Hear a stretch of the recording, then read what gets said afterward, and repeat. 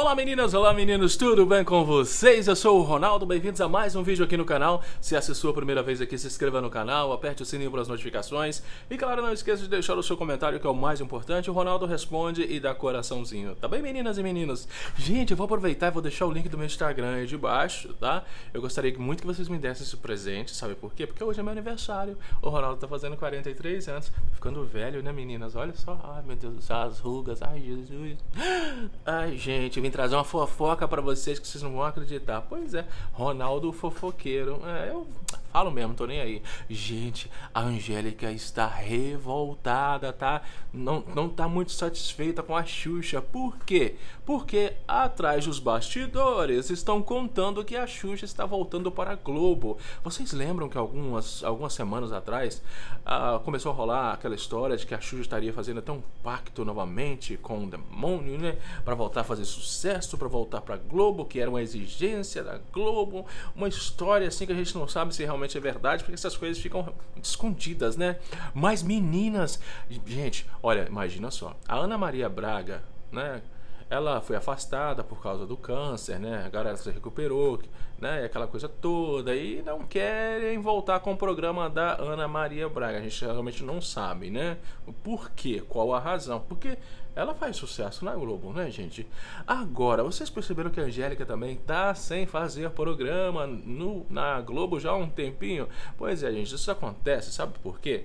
Porque a Globo exige que a, Angélica só volte com os programas depois que o Luciano, o marido dela, resolver a vida dele e tomar uma decisão se ele vai ser candidato mesmo ou não, né? Eu acho que é, eles têm até razão, né, gente? Porque eles não querem envolver os apresentadores com política, nada disso.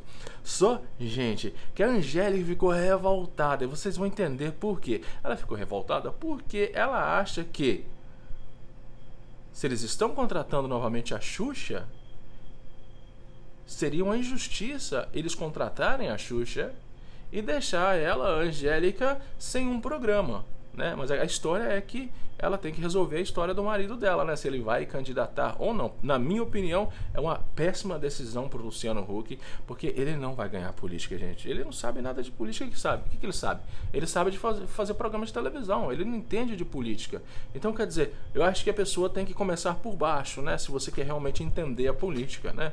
Começa ali trabalhando na prefeitura, depois de vereador, depois prefeito, depois governador, depois você se lança realmente como candidato a presidente.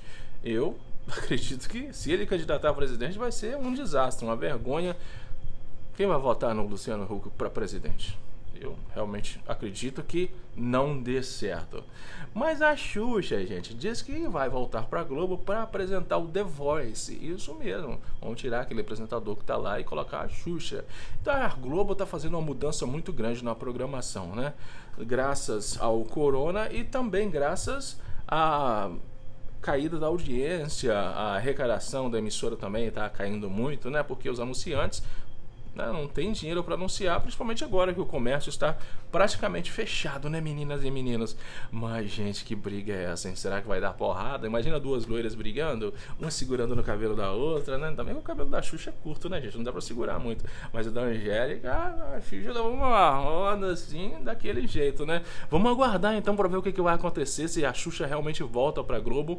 Eu vou ser sincero com vocês, seria uma ótima, tá? Eu gosto da Xuxa, né, gente? Eu cresci vendo os programas da Xuxa, né? Eu me lembro acordando cedo para ver a, a, entrada da Xuxa no programa, naquela nave espacial, né? Hoje vai ser, né? Aquela coisa toda. Mas a Angélica também, eu gosto da Angélica. Eu me lembro muito bem do início das, da carreira da Angélica, né? Vou de táxi. É, o Ronaldinho tem 43, né? Hoje é meu aniversário, né, gente? Hoje, então, quer dizer, a gente se lembra realmente da nossa infância, né? Balão mágico, trem da alegria, né? É, tempos que não voltam atrás realmente. Mas, gente, o que vocês acharam dessa história? Deixa aí nos comentários comentários também e daqui a pouquinho tem mais uma bomba para você aqui no canal.